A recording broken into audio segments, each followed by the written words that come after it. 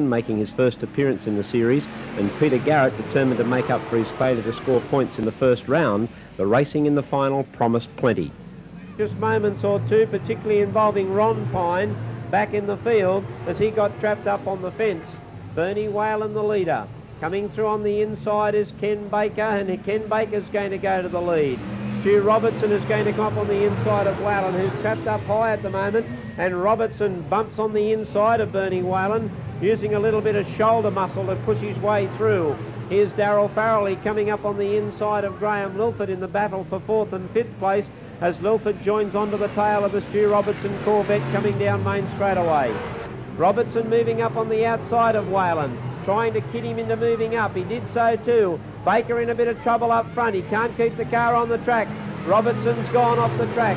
Lilford is dropped back to well, fifth place at the moment as Peter Garrett again collides with the concrete wall.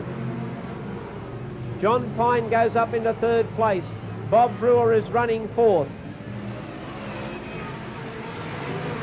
John Pine, the man now to put the pressure to Bernie Whalen.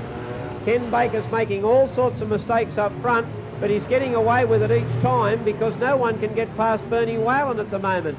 Here's John Pine getting past Whalen as they come out of turn four, and now John Pine will set out after the leader, Ken Baker. Baker still the leader.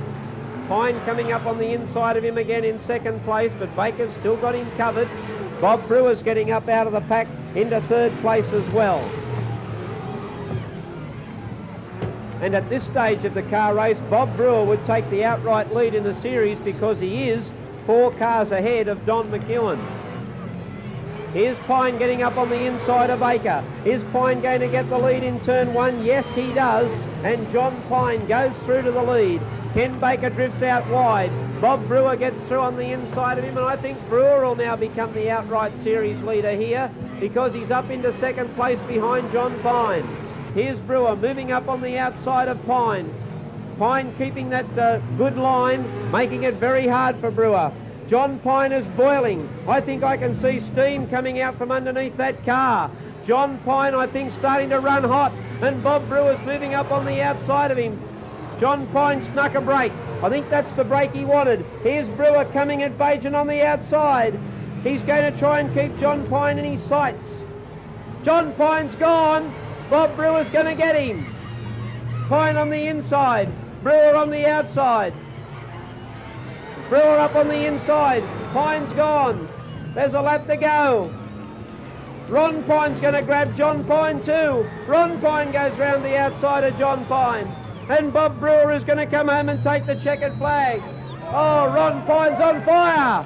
A wall's fire in the Ron Pine car. John Pine second. Ron Pine on fire across the line. That car is blazing flame from out underneath it. He's keeping it going. This is a brilliant piece of driving by Ron Pine to keep it going because that means that he'll kill all the fuel out of the exhaust system. Very cool and calm, Ron Pine. That's a great piece of uh, cool, calm driving by Ron Pine. To keep your cool under those circumstances is just a brilliant piece of driving. What a finish to the second round of the ISP Masters. Five minutes, 49.411 the time.